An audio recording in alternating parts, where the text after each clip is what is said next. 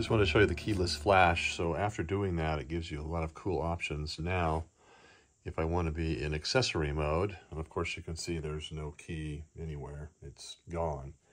All I do is press this one time, a click, and then I can look at my odometer and see my miles for a brief moment. If I click it again,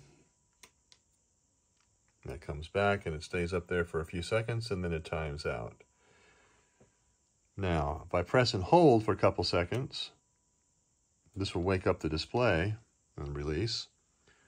And now I have access to everything that's on the display, all my accessories, until I press and release this again. If I press and release one time, it's just going to cycle through. So every time I press it, I can see what's on here, just as the usual operation. That's just its basic operation. So when I want to remove myself from accessory mode, I'll just press and hold this for a couple seconds like this. And that shuts it all off. So that's how this operates with a keyless flash. And then of course you have all of your normal operations from this side here. And then you can start the motor.